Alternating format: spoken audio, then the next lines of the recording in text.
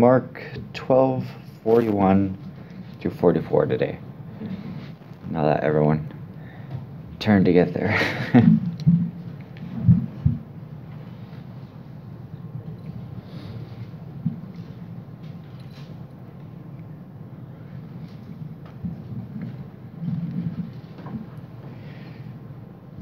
this is um, this is talk about when Jesus was at the church watching people uh, give their tithes and offerings.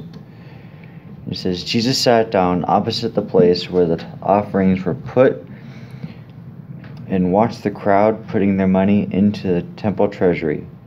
Many rich people threw in large amounts, but a poor widow, widow came and put in two very small copper coins worth only a few cents. Calling his disciples to him, Jesus said, Truly I tell you, this poor widow has put more into the treasury than all the others. They all gave out of their wealth, but she, out of her poverty, put in everything, all she had to live on. And that I thought I wasn't sure how I was going to tie that in, but it's it's asking us not not to give abundantly just because we have the money to, or we have the means or financial stability to give, but give even when you're at the lowest point. Because if you if you if you trust Him with that much, then um, you'll be able to trust Him with your eternal life and your eternal salvation. So, um, uh, think of that when you're uh,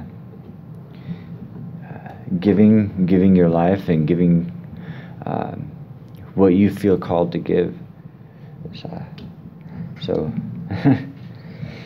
dear Heavenly Father, I just I thank I thank you for each and every person here, Father, for everything that we have all done and um, and everything everything that you've done in all of our lives, Father. And I ask that you bless the uh, the offering and may it may it be multiplied for your kingdom, Father.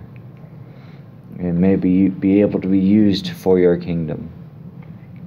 I ask that you bless those who can give. And I also ask that you bless those who cannot give to you. And in Jesus' name, amen.